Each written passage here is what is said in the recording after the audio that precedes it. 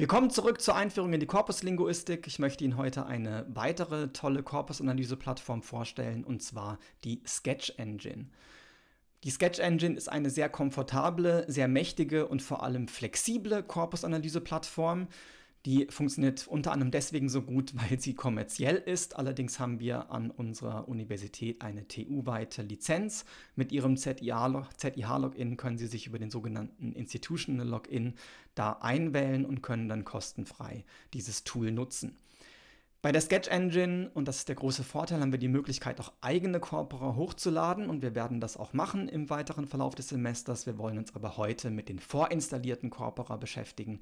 Da gibt es unzählige, sowohl Spezialcorpora als auch Referenzcorpora und vor allem in verschiedenen Sprachen. Das unterscheidet die Sketch Engine ganz maßgeblich zum Beispiel von dvds.de.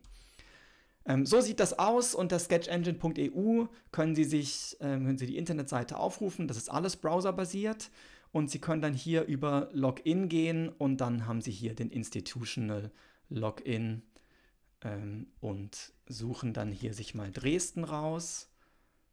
Da ist es TU Dresden, dann hier mit Ihrem ZIH-Login wählen Sie sich ein und Sie landen dann hier auf dieser Startseite. Ähm, vielleicht landen Sie bei sich zuerst hier. Sie können dann hier sehen, welche ähm, Sprachen verfügbar sind. Und ähm, wenn wir auf Advanced gehen, können wir uns mal anschauen, was es denn so insgesamt gibt. Also bei Arabisch ähm, hier verschiedenste Corpora. Wir scrollen mal runter zu German. Dann sehen wir, na, Sie sehen es ist wirklich viel. Das sind meine eigenen Corpora, die ich so hochgeladen habe. Und dann haben wir hier verschiedene Dinge, Lex Judgments, ähm, verschiedene, aus verschiedenen Timestamps. Wir haben auch Political Speeches, ähm, das Gutenberg-Korpus, also literarische Texte. Ja, aber wir arbeiten jetzt einfach mal mit der Standardfunktion, indem wir einfach hier auf German gehen. Das ist das Korpus ähm, D101020. Das ist ein riesiges ähm, Webkorpus mit ähm, 17 Milliarden Wörtern. Das heißt, hier wurde vollautomatisiert einfach das Internet abgesucht und alles, was man gefunden hat, hat man aufgenommen. Ist also sozusagen so eine Art ähm, Google-Suche, könnte man fast sagen, nur dass wir hier eben genaue Angaben haben, wie viele Daten denn tatsächlich drin sind, dass wir exhaustive ähm, Suchen und wirklich systematische Suchen machen können. Ähm, Sie sehen jetzt hier die verschiedenen ähm, Funktionen, die wir so haben und das ähnelt sich in Teilen sehr dem, was wir auf DWDS gesehen haben. Zum Beispiel hier das sogenannte Word Sketch ist genau das gleiche wie das Wort Profil. Wir gehen jetzt mal hierher und ähm, tippen mal Demonstration ein. Das haben wir auch bei DWDS gemacht. Und dann sehen wir auch hier, dass hier so typische syntaktische Kontexte hier angezeigt werden. Also was sind Modifiers, friedliche, angemeldete, antifaschistische, genehmigte Demonstrationen, ähm, was Demonstrationen tun, also wo das ein Subjekt ist und welche Verben dann damit kombiniert werden und verschiedene andere syntaktische Kategorien, ja, ähm, die Niederschlagung der Demonstration, die Teilnehmer der Demonstration und so weiter. Wir haben auch die Möglichkeit, eine Word Sketch Difference zu machen. Auch das ähnelt dem, was ich Ihnen bei dvds.de schon gezeigt habe. Protest.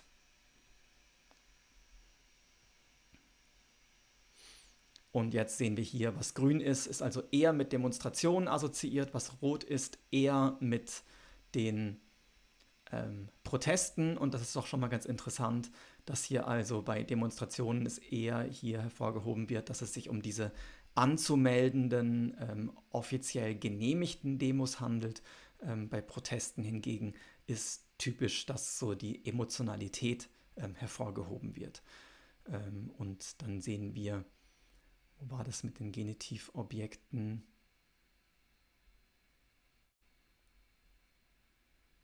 Ähm, Finde ich jetzt auf Anhieb nicht, aber klicken Sie sich einfach mal durch und ähm, schauen Sie sich an, wie also hier in diesem Korpus ähm, sich die beiden doch sehr ähnlichen Ausdrücke, Demonstration und Protest, ähm, zueinander verhalten.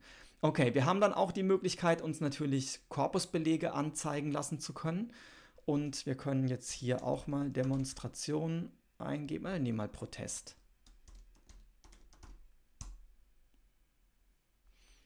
Ähm, er hat jetzt nach dem Lemma gesucht, das heißt, wir finden jetzt auch hier wieder die ähm, flektierten Formen. Und jetzt haben wir verschiedenste Möglichkeiten. Wir können uns zum Beispiel, das finde ich ein ganz tolles Feature, Good Dictionary Examples uns anzeigen lassen. Also das sind recht kurze Sätze, die ähm, gut überschaubar sind, die man dann hernehmen könnte, um sie in, als Beispielbelege in ein Wörterbuch aufzunehmen. Wir haben dann auch die Möglichkeit, hier ähm, ein Zufallssample uns zu ziehen, ähm, eine, eine Zufallssortierung vorzunehmen und wir haben die Möglichkeit, Kollokationen zu berechnen. Das kennen Sie, das heißt dann woanders Konkurrenzprofile. Wir nehmen jetzt mal hier ein größeres Window und wir rechnen mal auf Lemma-Basis und ich nehme immer noch ganz gerne den Log-Likelihood-Wert mit dazu. Ähm, das ist so eine Geschmackssache, das sind verschiedene statistische Maße. Wir machen das einfach mal. Es wird jetzt ein bisschen dauern, weil das große Datenmengen sind, also 479.835 Belege. Ähm, Sie können bei YouTube dann vielleicht jetzt mal ein bisschen vorspulen.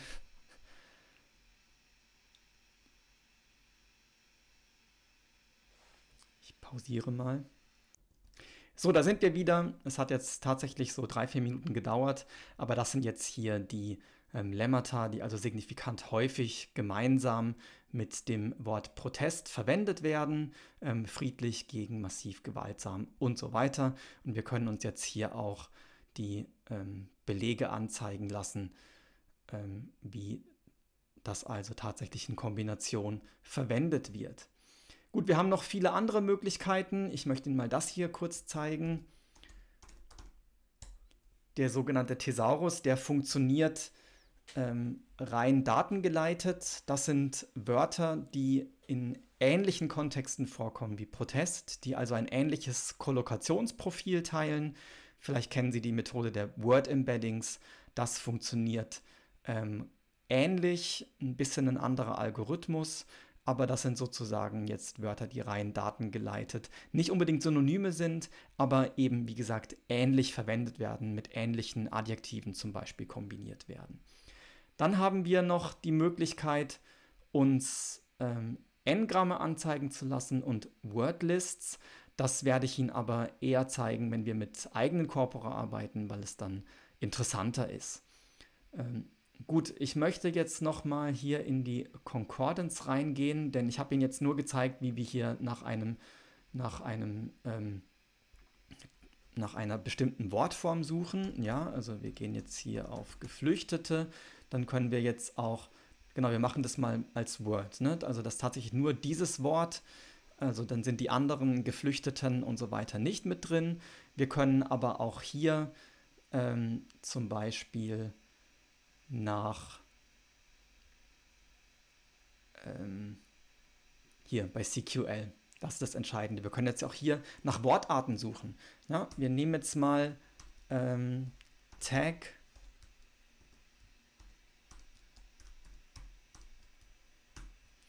So, und wir finden jetzt Adverbien. Alles Adverbien, ähm, das ist jetzt noch keine sinnvolle Frage und das sind auch sehr viele, ja, also 131 ähm, noch mehr, 285 Millionen ähm, verschiedene. Ja? Ähm, aber das ist die Suchsprache, um die es mir geht. Das ist sogenannte Corpus Query Language. Wir werden noch verschiedentlich mit der arbeiten. Die ist internationaler Standard, wenn es um avanciertere korpuslinguistische Anwendungen geht.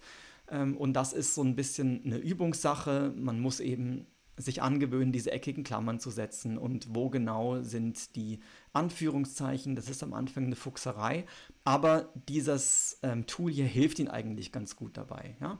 Also wir können jetzt hier ähm, so einen Tag setzen und dann ähm, können wir hier zum Beispiel nach Lemma ist gleich trinken. So, und dann findet er eben alle möglichen ähm, flektierten Formen von Trinken. Okay, wir gehen jetzt mal ähm, in die Phrase-Suche. Das können wir auch machen. Hier können wir jetzt also mehrere Wörter suchen in Kombination. Und Sie kennen ja vielleicht, wie geil ist das denn? Die Äußerung. Sie können dazu auch gerne einen Aufsatz lesen von Peter Auer. Ähm, und wir sehen jetzt hier schon mal ein paar interessante Dinge. Ähm, diese vielen Fragezeichen, diese vielen Ausrufezeichen. Wie geil ist das denn hier? Ähm, damit können wir es noch kombinieren. So, und wir können jetzt versuchen, ähm, nach genau diesem Formulierungsmuster zu suchen. Ähm, Sie können ja mal überlegen, was kann man denn noch für Adjektive möglicherweise da einsetzen. Wie ähm, bescheuert, nehmen wir mal das. Wie bescheuert ist das denn? Funktioniert auch. Ne? Wir können aber vielleicht auch nicht nur das einsetzen, sondern auch, wie bescheuert ist der denn? Oder ähm, wie, ähm, wir können statt denn vielleicht auch ein anderes ein anderer Partikel einsetzen, sowas wie bescheuert, wie bescheuert ist der denn bitte oder ähnliches.